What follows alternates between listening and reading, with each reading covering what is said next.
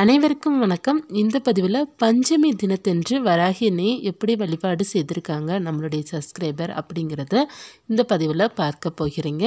ரொம்ப அற்புதமாக தீபம் ஏற்றி வைத்து அவங்க சிலை அலங்காரம் செய்து வழிபாடு செய்திருக்காங்க. படமும் இருக்குது சிலையும் இருக்குது நெய்வேத்தியம் செய்து வராகினை ரொம்ப அலங்காரம் செய்திருக்காங்க. சூப்பராக இருக்குது